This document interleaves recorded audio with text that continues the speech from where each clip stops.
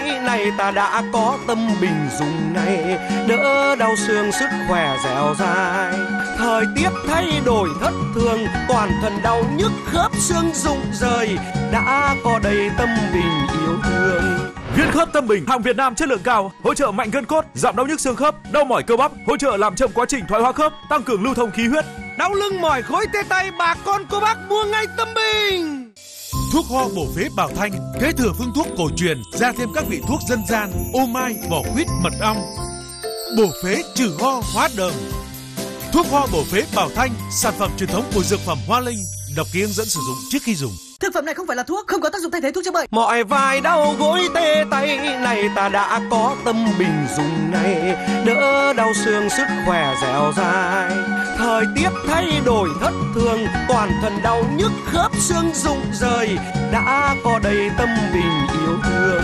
Viên khớp tâm bình, hàng Việt Nam chất lượng cao, hỗ trợ mạnh gân cốt, giảm đau nhức xương khớp, đau mỏi cơ bắp, hỗ trợ làm chậm quá trình thoái hóa khớp, tăng cường lưu thông khí huyết. đau lưng mỏi khối tê tay bà con cô bác mua ngay tâm bình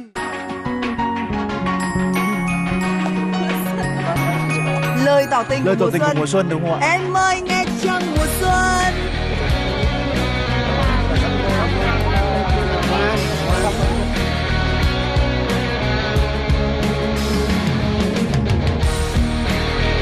Đến với chợ Tết đông vui hơn à, Chết rồi lại bị quen mất rồi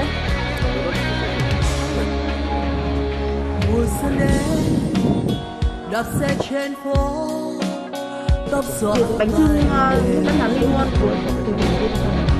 Chỉ định bánh trưng thôi xong là vào phỏng vấn của bánh trưng luôn. Nụ hoa Gọi là hồng ở từ đẹp lắm và ấm cực kỳ Sống trên trên phải Ngày mai chị Hà em nữa xong chưa? Hai chín ạ. Bờ tôi biết Hỏi tới những con người của tôi đang trong con tim yêu thương. mùa xuân đến rồi mùa xuân nói dùng với em. Tình yêu rất gần hãy Đây hộ quay phim. nhá Rồi rồi thay ông này Rồi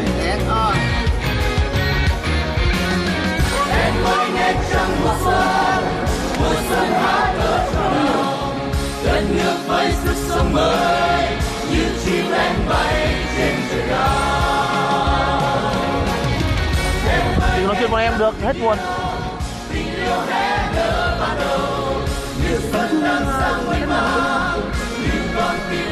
Chỉ định bánh trưng thôi xong là vào phỏng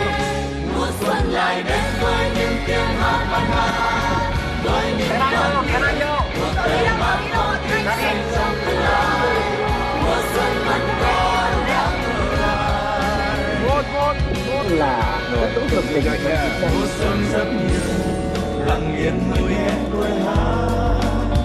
còn em lặng yên, ngồi nghe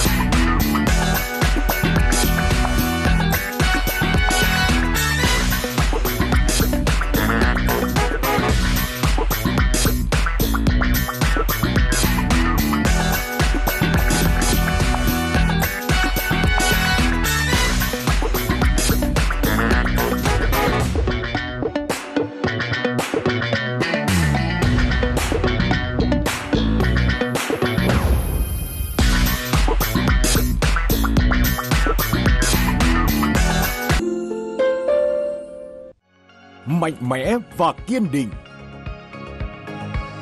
nỗ lực không ngừng nghỉ kiến tạo giá trị bền vững bằng tình yêu và trách nhiệm.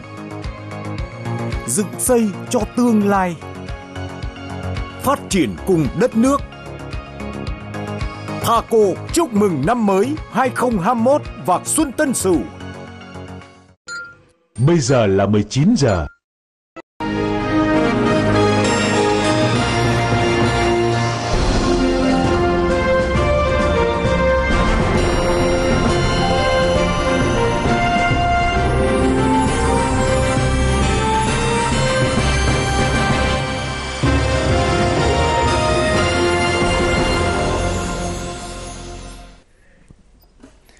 Xin kính chào và cảm ơn quý vị đang theo dõi bản tin thời sự tối của Đài truyền hình Việt Nam. Chương trình thời sự tối nay thứ năm ngày 11 tháng 2 tức 30 Tết. Chương trình sẽ có một số nội dung đáng chú ý sau đây. 28 phụ huynh và học sinh tại điểm cách ly trường tiểu học Xuân Phương, Hà Nội vui mừng khi được trở về nhà đón Tết, nhưng vẫn còn 100 học sinh, phụ huynh, giáo viên đang tiếp tục cách ly tại trường. Đoàn kết, đồng thuận và đồng lòng thử thứ sức mạnh đã giúp Việt Nam vượt qua một năm với rất nhiều khó khăn và sẽ tiếp tục vượt qua thách thức trên đường tới đích. Tết đang đến rất gần với Trường Sa. Tết của những người dân, người chiến sĩ bám đảo, bám biển, có tình quân dân ấm áp, có sự vững vàng tinh thần và ý chí nơi đầu sóng ngọn gió. Dù có những khó khăn do dịch bệnh, bà con người Việt tại Mỹ vẫn sẽ chia nhau để có được một cái Tết truyền thống trọn vẹn nét văn hóa và bản sắc dân tộc.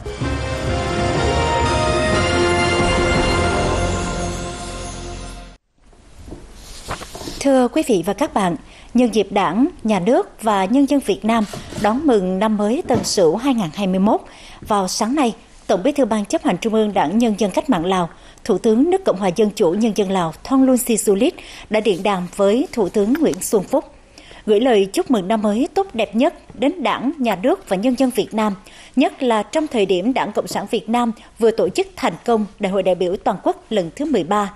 Tổng Bí thư, Thủ tướng Thonglun Sisulit bày tỏ tin tưởng trong thời gian tới, khi hai đảng cùng tổ chức thực hiện nghị quyết đại hội toàn quốc của mỗi đảng, mối quan hệ hữu nghị vĩ đại, đoàn kết đặc biệt và hợp tác toàn diện giữa Lào và Việt Nam sẽ tiếp tục phát triển lên tầm cao mới.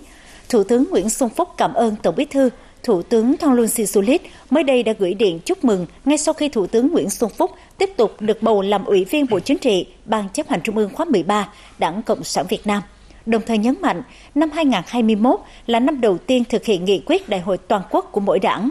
Hai bên cần tiếp tục kề vai sát cánh, vượt qua những khó khăn, thách thức, nhất là do đại dịch COVID-19 gây ra, và phối hợp chặt chẽ thực hiện có hiệu quả, thiết thực hơn nữa các thỏa thuận giữa lãnh đạo cấp cao hai đảng, hai nước, nhất là tại kỳ họp lần thứ 43 Ủy ban Liên Chính phủ về hợp tác song phương.